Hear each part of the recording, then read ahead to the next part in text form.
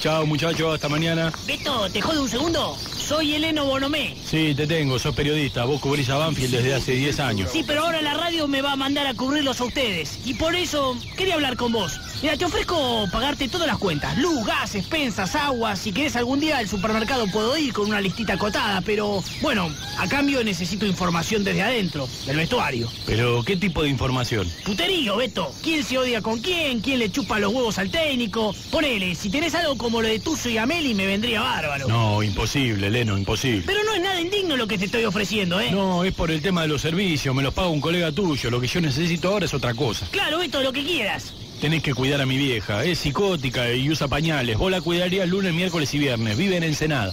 No, Beto, mucha responsabilidad eso. Te tengo que decir que no. Está bien, vos te lo perdés, ¿eh? Me guardaré todos los rumores lindos que tengo. ¿Quién le dijo en la cara nazi de mierda al técnico? ¿No te lo digo? Me lo guardo, ¿no? No te interesa, no te No, interesa. no, sí, sí, claro, me interesa. Bueno, toma.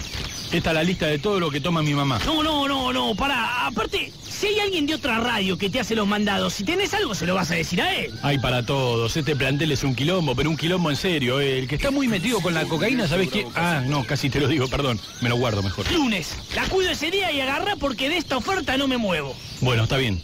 Escucha, el polaco Perelman ronca como un animal.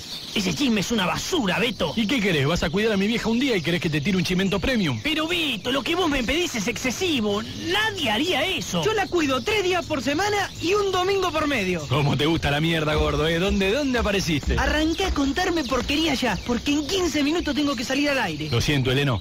Perdiste. Ya lo sé, Beto. Contra este gordo arrastrado no puedo competir. Chao. Dale, Beto, arranca. Y que sea bueno, ¿eh? Eh, que el 4 y el 9 se hayan casado en secreto, ¿te sirve? Sí, claro.